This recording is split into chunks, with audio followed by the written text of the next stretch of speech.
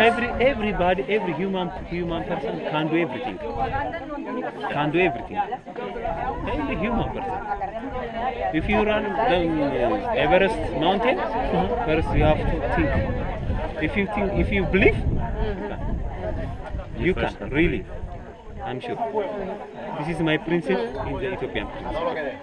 Every day i do. Even the the hardest and uh, the hill First, I dream that in, the bedroom. Oh, tomorrow I will do. Yes, I will do. I did it. Every day I did it. When I was a little boy, my mom, my mom told me everything. You can. Don't give up. She says.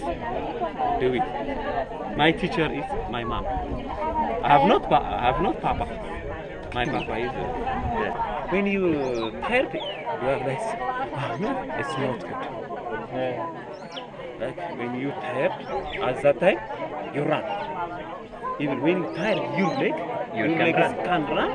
And they like this, run, run, run every day. Your steps. So it's steps. adapt your body, adapt your leg.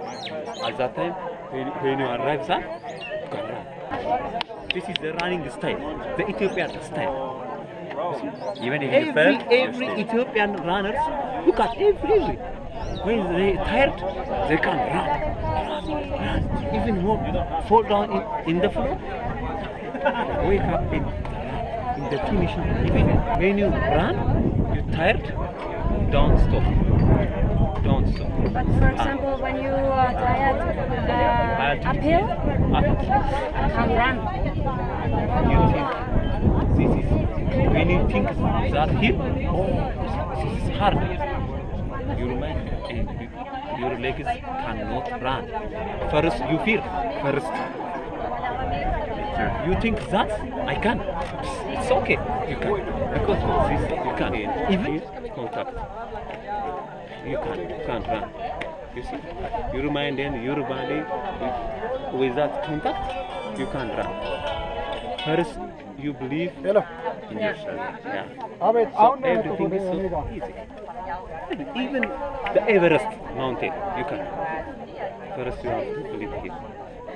This is it. And then automatically.